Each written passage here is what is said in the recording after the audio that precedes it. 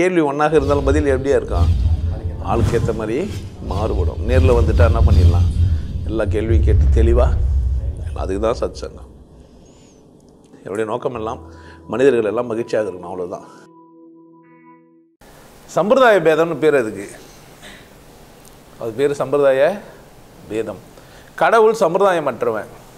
கடவுளுக்கு என்ன கிடையாது? சம்பிரதாயம் கிடையாது. அவனை உழுந்து கும்பிடணும் நின்று கும்பிடணும் வணங்கி கும்பிடணும்லாம் கிடையாது. எப்படி வேணால் கும்பிடலாம் கும்பிடா கூட்டிகிட்டு பரவாயில்ல நீ இருந்தால் எந்தன்னு போன கூட சொல்லலாம் அவனை ஒன்றும் சொல்ல மாட்டான். கடவுள் இல்லைன்னா உங்களை சாவிச்சுவான்ட்ட யாருக்குன்னா சொல்லி பாரு உங்கள் அம்மா கிட்ட போய் நீ எங்கள் அம்மா இல்லை. பக்கத்து வீட்டுக்காரங்க அம்மா எங்கள் அம்மாவே கிடையாதுன்னு சொல்லி பாரு கோவம் வந்துடும் அப்பாவுக்கு அப்பா இல்லைன்னு சொல்லிட்டு இன்னும் பெரிய டென்ஷன் ஆகிடுவான் அம்மாவுக்கும் சேர்த்து கோவம் வந்துடும் அப்படித்தானே கடவுள் இல்லைன்னா கோவம் வரும்? ஏன்? ஒன்றும் பண்ணுறது இல்லை கடவுள் இல்லை கட்டிட்டு இது துச்சி இது சாப்பிட்றான் நல்லா இருக்கிறான் வாழ்ந்துனுங்கிறான் இப்போ இவனுக்கு திமிராய் போய் கேள்வி என்ன கேட்குறான் தந்தைக்கு முன் மகன் பிறந்தானேன்றாங்களே அப்போ நான் கடவுள் எப்போ பிறந்தார்? நான் இந்த மனுஷன் தான் கடவுள் உருவாக்கணும்னு நினச்சிக்கிறான். இவன் மேலே ஏறி குசு விட்டுன்னு கல்லை வச்சு போட்டு சாமின்னு கும்பிட்டானா? இல்லை இஷ்டத்துக்கு எழுதி விட்டு படின்னு படிச்சு விட்டு புனித நூலுனானா இதெல்லாம் பார்த்து புத்தி பேதலிச்சு என்ன சொல்கிறான் இப்போ கடவுள் நாங்கள் தான் உருவாக்கணும். எப்படி அப்பா வந்து எனக்கு என்னை உருவாக்குறதுக்கு இல்லை என்னை உருவாக்குறதுக்கு தான் எங்கள் அப்பா உருவானார் திருமூலில் சொல்கிறாரோ அப்படி தான் கடவுள் வந்து என்ன பண்ணிடுறாருன்னா எங்களை படித்ததுனால தான் நானே என்ன பண்ணிடுறேன்? கடவுளை பச்சை வச்சுக்கிறேன்னு கேட்குற அளவுக்கு அறிவாளி ஆகிட்டுக்கிறான் இந்த மாதிரி பக்கிங்க போயதெல்லாம் நம்ம நம்ம பச்சி நம்ம மூளை சூடாகி போகுது ஆனால் ஓடாதியா ஒன்றா நான் டெய்லி மெசேஜ் என்ன பண்ணிடுறேன்? அனுப்பாமல் விட்டுறேன் இதுக்காக இவ்வளோ பெரிய தண்டனையா?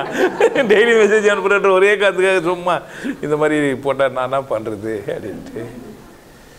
சம்பிரதாயன்றது இங்கே கணவன் மனைவி அண்ணன் தம்பி மாமன் மச்சான் இப்படிலாம் வாழ்ந்துருக்குறோம் இந்த வாழ்க்கையில் கூட ஒரு அப்பன் தன் அப்பன் பெரிய பெருமைப்பட முடியாது. மகனை பெற்றது தான் அப்பனே உருவாகிக்கிறான். மகன் சிறுமைப்பட முடியாது. நான் சின்னவன் ஆகிட்டேனே அவனுக்கு அவ்வளோமா உருவாயிட்டேனேன்னு சிறுமைப்பட முடியாது. உன்னை பெற்றுக்கிறதுக்கு தான் அப்பனே உருவாக்கிறான் அப்படின்னு தான் திருமந்திரம் சொல்கிறாரே தவிர கடவுள் உருவாக்குது. இது கூட புரிஞ்சுக்க முடியாத ஆகிட்டுக்குது அந்த அந்த அளவுக்கு கேடு போயிட்டு போயிடுச்சு மூளை. அறிவு ரொம்ப சாதாரணமாக உணர்வுக்கு வந்து ஃப்ரெண்டுங்கோ இப்படிலாம் வர சொல்கிறது அப்போ அறிவு ரொம்ப கேடு கெட்டு போய் மட்டமாயிட்டு கடவுள் இல்லை இல்லை இருக்குதுன்னு இவன் கற்பனை பண்ணி கற்பனை. கடவுள் இருக்குதா இல்லையான்னு கேட்டால் தெரியாதுன்னு சொல்லவே மாட்டான். நீ என்ன கேட்குறேன் கடவுள் இல்லாமல் இருக்கிறாங்கன்னுவான் இதெல்லாம் எப்படி உண்டாச்சுன்னு கேட்பான் நம்மளே. நம்ம அது அது ஆராய்ச்சி பண்ணி எப்படி உண்டாச்சுன்னு ஒரு முடிவு பண்ணிட்டுக்கிறோம் நம்மளை பார்த்து என்ன கேள்வி கேட்பான் நம்ம ஒரு கேள்வி கேட்டால் அவனும் ஒரு கேள்வி கேட்பான். கேள்வி கேட்பான் பாரு கேள்வியாக கேட்டுருப்பான். கட்சி வரைக்கும் அவனும் முடிவுக்கு வர மாட்டான். நாம் முடிவுக்கு வந்ததுனால அது ஒரு டென்ஷன் ஆகிடும் அவர் இஷ்டத்துக்கு பேசுகிறாருங்க பேச திட்டது இஷ்டத்துக்கு இல்லாமல் எப்படி பேசுவாங்க?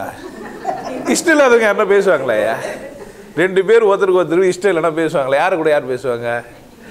இஷ்டம் தான் பேசுவாங்க. இஷ்டம் இல்லைன்னா இஷ்டத்துக்கு பேசுகிறேன்னா இஷ்டத்துக்கு தானே பேசுவாங்க? இருக்கட்டும் இவ்வளோ பெரிய லூசுக்கும் போய் சொல்கிறேன் சம்பிரதாயன்றது இந்த பூமியில் சமூக அமைப்பில் கட்டுப்பாடில் இருந்தனே அதுவும் காலத்துக்கு காலம் மாறின வருது. ஒரே மாதிரிலாம் இல்லை. ஒரே ச ஒரே மாதிரியான குறிப்பிட்ட வாழ்க்கை முறை இருக்குதானே இல்லை. அப்பாவுக்கு புள்ள கீழ்ப்படியணும். ஒரு காலம். அப்பா என்ன சொன்னாலும் கேட்கணும். அப்பா தொழிலை தான் செய்யணும். அப்பாவுக்கு தான் உதவியா? இருக்கணும். ஈஸ்வரர் கூட அவங்க அப்பாவுக்கு உதவியாக இருந்தாருன்னே சொல்லி வச்சுக்கிறான். கச்சோரிமா இருந்தாருன்னா இல்லை. அந்தால் புரிஞ்சுட்டுக்குது இந்த ஆளுக்கு உதவியாக இருந்தால் நம்ம வேலைக்கு ஆக மாட்டோம். நம்ம வெளியே இப்போ ஊரெல்லாம் சொன்னால் தான் நம்ம கொஞ்சம் பேர் பேர் தெரியும் அப்படின்ட்டு அந்த ஆள் புரிஞ்சுட்டுக்குது கரெக்ட் தானே? அது வேலை சுதர்மா. அவர் அவர் வேலையை என்ன செய்யணும் செய்யணும்னா அவர் தான் செய்யணும். வேறு வேலைலாம் யாரும் செய்யக்கூடாது. வேறு யாரெல்லாம் வேலை செஞ்சால் முயற்சி பண்ணால் கேடு கட்டு போயிடுவேன். இப்படிலாம் சொல்லி ஏமாத்திங்கிற இந்த உலகத்தில் என்றைக்கோ திருமந்தத்தில் அவ்வளோ அறிவுபூர்வமாக சொல்லி இது சமூக ச அந்தஸ்து சந்தர்ப்பமெல்லாம் சும்மாடா அப்படின்னு சொல்கிறதுக்காக சொன்னால் வெத்து வச்சு கடவுளுக்கே போய் வச்சு வெட்டு வைக்கிறான். கடவுளை நான் தான் உருவாங்கினேன் இவன் இவன் ஏதந்துக்கெல்லாம் கடவுள் நினச்சிக்கிறானுங்க மதங்களை பின்பற்றுறது மட்டும் போதத்தில் அவனுங்களுக்கு. மதத்தை பின்பற்றி பின்பற்றி பின்பற்றி பைத்தியம் ஆகிப்போய் மதம் தான் சரின்னு வெறியும் ஆகிப்போய் இப்போ கடவுளே வந்து வேறு மாதிரி ஆகிட்டார் நாங்கள் தான் கடவுளே கண்டுபிடிச்சோம். அவர் எங்கேயோ ஒழிஞ்சுன்னு வந்தார் அப்படின்ட்டு ஆமாம் மேலே ஒரு களம் கட்டி வச்சுக்கிறாரு. ஆமாம் கப்பல் களம் விண்கலம்லாங்கிற மாதிரி ஒரு களங்குது அது காலத்துக்கு பேர் உங்களுக்கு தெரியும் எனக்கு தெரியாது. ஏன்னா நீங்கள் அறிவு திருக்களுக்கு போய் அறிவு பெருசாகிட்டீங்க. அதனால் அங்கே ஒரு காலத்தில் உட்காந்துக்கிறாரு நாங்கள் கண்டுபிடிச்சோம். அது எப்போது இருந்துருக்கிற ஒன்றை யாரோ கண்டுபிடிச்ச மாதிரியே சொல்லுங்கிறான். இவனே இப்போ இவனுக்கு தெரியாது. தெரியாதுன்னு சொல்ல தெரியாது. இல்லைனாலும் அது தப்பும் இந்த மாதிரிலாம் கேடு கட்டு இந்த காலத்தில் கேள்விக்கு பஞ்சமே இல்லை. என்னை பொறுத்த வரைக்கும். இந்த கேள்விக்கு ஒரு பதிலும் சொல்லி வைக்கிறேன். என்ன இது? தந்தைக்கு முன் முன்பு வந்தேன்றானே. இப்போ கடவுள் நாங்கள் தான் கண்டுபிடிச்சோம் அப்படின்னு சொல்கிறவங்களுக்கான பதில் இது. வாழ்க்கை நம்மளுது. இல்லை நாய்கிட்ட பூனைக்கிட்ட போய் அப்பா அம்மாலாம் கேட்டால் சொல்ல நினைக்கிறீங்க? ஒரு பூனைக்குட்டி பிடிச்சிட்டு வந்து உங்கள் அப்பா என்ன உங்கள் அம்மா என்ன சயின்டிஸ்ட் கிட்ட கோத்தினா எடுத்துருவான் பூச்சி.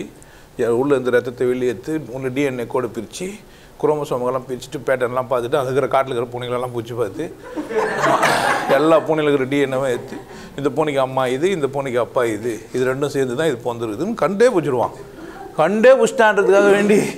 அப்போ பூனைக்கு அப்பா மாதிரி தான் கடவுளுக்கு எங்கே இருக்குதுன்னு கண்டுபிடிச்சான்னு சொல்லி பார்ட்டிகளை விட்டு உள்ளே விட்டு மோதி இப்போ காட் பார்ட்டிகளை கண்டுபிடிச்சி கேடு கட்டு போயிட்டு இருக்கிறாங்க. கடவுள் ஒரு பார்ட்டிகளும் இல்லாமல் ஒழிஞ்சுனுக்கிறான் கடவுள் ஒரு பார்ட்டிகளும் இல்லாமல் எப்படிங்கிறான் எல்லா பார்ட்டிகளுக்கும் ஆதாரமாக இருந்துக்கின்னு தனக்கு ஒரு வடிவமோ உருவமோ எதுவுமே இல்லாமல் சும்மா நீக்க முறை காடி செவதி புரிஞ்சுக்க முடியாத பைத்தியம் தான் விட்றேன்ற நான். எதுக்குன்ற நான். புரிஞ்சு ஒரு குரு வந்து சொல்லுங்கிறாருன்னா கேட்டு நல்லா இல்லை இந்த கேள்விக்கு பதிலாம் காசு கொடுத்தா கேட்டுனுக்கிறேன் கசமானம் இல்லை ஏதோ பயிற்சி வச்சுக்கிறேன் கற்று தரேன். காசு வாங்குறேன் சம்பாதிக்கிறேன் நல்லா இருக்கிறேன். ஒன்றுனா புண்ணாகும் புரிய மாட்டேங்குது. நல்லா இருந்தால் ஒருத்தனுக்கு பிடிக்கவே மாட்டேங்குது. இது ஒரு வேலையை வச்சு செஞ்சுக்கிறானுங்க நானும் என்லைட்டன் ஆகிட்டேன் என்ன சொன்ன ஒத்துக்க மாட்டேன்ட்டு அவர். நானும் என்லைட்டன் வானா நான் சொன்னேன். நான் அது தானே நான் சொல்லி கொடுத்துனுக்குறேன். என்லைட்டன் என்ன நினச்சிக்கிறானுங்கன்னு தெரில ஒரு சேர் ஒன்று சேஞ்ச் போட்டு உட்காந்து இது மாதிரி ஒரு ரூமை கட்டி பேசினுக்க வேண்டியது தானே? இல்லை எப்படியும் உங்களுக்கு ஒரு நாலு பேர் வராமல் போக போகிறது இல்லை? நீயும் போகாமல் இருக்க போகிறதில்ல அதையும் நான் பார்த்து ஒரு வரலாறாக வச்சுப்பேன்ல. இது மாதிரிலாம் எவ்வளோ பேர் பேசினாங்க இவ்வளோ பேர் காணாமல் போயிட்டாங்க. ஒரு லிஸ்ட்டு விட்டு. இல்லை சொல்ல முடியாது. என்னோட பெருசாக கூட ஆவேன். நல்லா தான் பேசேன் கொஞ்சம். நான் தான் நாகரிகமாக பேசிக்கிறேன். நாகரிகமாக பேசி பெரியலாம் இல்லாமல் இல்லையா? கூப்பிட்டு வச்சுன்னு வாங்க. அண்ணா காலில் ஊந்து ஊந்து எல்லார் காலையும் நீ ஊந்து உட்கார வச்சுக்கோ. வானா நான் சொல்ல முடியும் வாழ்ந்துட்டு போக வேண்டியது தானே. பைத்தியம். மென்டலுங்க கடவுள் ஒன்று அதை அடையிறதுக்கு வழி ஆளாளுக்கு ஒன்று ஒன்று சொல்லலாம். சக்ஸஸ்ஃபுல்லாக ஆகுதா இல்லையா? நீ தானே பார்த்துக்கணும். என்ன சொல்கிறது பசியத்தான் சாப்பிட்ணும். பசிக்கு என்ன சாப்பிட்ணும் எல்லோரும் என் ஹோட்டலுக்கே வாங்க நான் சொல்ல முடியும். அங்கங்கே ஹோட்டல் கட்டினா வாங்க நான் சொல்ல போகிறேன் ஆனால் தரமான சாப்பாடு என்னால் போட முடியும்னு நான் சொல்கிறேன் நீ என்ன பண்ண? போடு சாப்பிட்டோம். வாந்தி எடுத்துட்டு சாப்பிட்டேன் யார் பிரச்சனை? இல்லை. அந்த மாதிரி புரிஞ்சுக்காமே பேசுகிற கூட்டங்க நிறைய பேர் ஆகிட்டாங்க கொஞ்சம் கவனமாக இருங்க. இந்த உலகத்தில் குருமார்கள் அப்படிலாம் இல்லை. குருமார்கள்னு ஒரு கூட்டம்லாம் இல்லை. சங்கம் அமைக்கிறன்ட்டு இங்கே ஒருத்தன் வந்தான். வெள்ளை சட்டை போட்டு வெள்ளை வச்சுக்கிட்டு உயரமாக இருந்தான். நம்மால் பார்த்துட்டு டமால் வந்துட்டார் உயரமாக தான் ஊந்தணும் நம்மளுது காலில். இதெல்லாம் நந்துச்சு கொட்டால் இருக்கும்போதே. அப்போனா இது அவசியம் ஒருங்கிணைக்கிறேன் குருமார்களை. கடவுள் ஒன்று இதை நீங்கள் புரிஞ்சுக்கோங்க. கடவுள் ஒன்றுன்னு புரிஞ்சுன்னா குருவாக தான் ஒன்று அவசியம் இல்லை. எல்லாரும் ஓவியர்கள் கிடையாது. படிக்கிறதுனால எல்லாரும் என்ன ஆகிட முடியாது? ஓவியர்களாக முடியாது. சிலது இப்போ சுதர்மான்னா பிறப்பு வழி கிடையாது. பிறந்ததுனாலேயே அவன் அதற்காகவே பிறந்துக்கிறான் அது வேலை அவங்ககிட்ட போனால் அவன் அந்த வேலையை அழகாக செய்வான். ஏன்னா அவன் இதுக்காக தான் பிறந்துக்கிறான்? அதுக்காக தான் பிறந்துக்கிறான். ஒரு க கைதி தூக்கு போடுறதுக்கு ஒரு ரோப் போட்டு நின்று காத்துங்கிறான்ல அவன் அதுக்காகவே பிறந்தவன் வரவங்களெல்லாம் தூக்கு போடுறதுக்காக. ரெண்டு ராஜாவையும் பார்த்துருப்பான். ஒரு ராஜாவை தூக்கி ஒன்று ராஜாவை போட்டிருப்பார். அத்த ராஜா வந்து இவனை தூக்கி போய் போட்டிருப்பாரு. தூக்கு போகிறது தகுதியான ராஜாவாக இருப்பான்? ராஜாவே தூக்கு போகிற தகுதியான இடத்துல இருந்தாலும் என்ன இல்லை அவனுக்கு. ராஜா அவர் தகுதி இல்லை. இதெல்லாம் புரிஞ்சு வச்சுக்கணும். என் தகுதி என்ன? என் என் லிமிட் என்ன? என்னால் எது முடியும்? அது அவனுக்கு வருது. அதை அவன் செஞ்சுனுக்கிறான். அதை அழகாக செஞ்சுனுக்கிறான். நேர்த்தியாக செஞ்சுக்கிறான். ஒன்றே ஏற்றுக்கோ இல்லைன்னா விட்டு சும்மா போ. விட்டு விட்டு என்ன பண்ணிக்காத போட்டி கூப்பிடுறது அதெல்லாம் தப்பு அசிங்கம். உனக்கு புரியல? கடவுள் ஒன்று அதை அடையிறதுக்கான வழி என்கிட்ட இருக்குது. மற்றபடி திருமந்திரமாக எனக்கு கேளுன்றேன் இந்த மாதிரி அர்த்தம் சொல்லிடுறாரு தந்தைக்கு நீ ஏன் ஒரு அர்த்தம் பண்ணின்னு? அப்படி தான் சொல்கிறாங்க நீ என்கிட்ட ஒரு தர்க்கம் பண்ண நான் என்ன பண்ணுறது ஒரு புக்கு தான். படிச்சுவிட்டு அவன் ஒரு அர்த்தம் பண்ணிக்கிறான். புள்ளி ஸ்டாப்புக்கு அம்மாலாம் இல்லாத ஒரு மொழி எதுனா தமிழ். அதுக்கு கம்மா புள்ளி ஸ்டாப்லாம் வச்சேன்னா அசிங்க அசிங்கமாக போயிடும். தமிழுக்கு என்ன கிடையாது? புள்ளி ஸ்டாப்பு கம்மா அரை புள்ளி முக்கால் புள்ளி கால் புள்ளிலாம் கிடையவே கிடையாது தமிழுக்கு. ஏன்னா ஓலை கிஞ்சிரும். ஆமாம் போட்டு அங்கங்கே குத்துனா என்ன வந்தான்னு ஒரு குத்து போனான்னு ஒரு குத்து நின்றான்னு ஒரு குத்து. மூன்றும் நடந்ததுன்னு ஒரு கமா அவள் தான் என்ன ஓலை? கீஞ்சு கந்த கந்தலாக இருக்கும் அவ்வளோ அழகாக செஞ்சுக்கிறானுங்க அந்த மொழியை. அந்த மொழியை செஞ்சபோது என்ன மாதிரி பண்ணியிருந்தாங்க? ஓலை உலகத்திலேயே முதலில் எழுதப்பட்ட மொழி அப்படின்னு சொல்லிட்டு கிரேக்கம் பொருள் பிரான்ச்சு அப்படிலாம் சொல்லிருப்பான் தமிழ் கூட. எதில்னா பணம் வலையில் பதப்பத்து முடிஞ்சிருக்குது அவ்வளோ சிறந்த நூட்கள் நம்ம நூட்கள் சரியான அர்த்தம் பண்ணாமல் என்ன பண்ணிடுறானுங்க தப்பு தப்பா சில்லறத்தனமாக பேசின்னு அதில் வர போயிட்டு அதில் வர அது வர அதுலேயே ஒரு பில்லியன்ட் ஆகிட்டு அது மாதிரி கேள்விகள் வந்து மட்டமாக எழும்பினாலும் தப்பு இல்லை எனக்கு ஒரு சந்தர்ப்பம். இது ஒரு மட்டமான கேள்வி எழும்ப போய் தான் இப்படி பேசினேன். ஆமாம் நீ கொஞ்சம் பைத்தியமாக இருந்தால் தான் எனக்கு என்ன இருக்குது.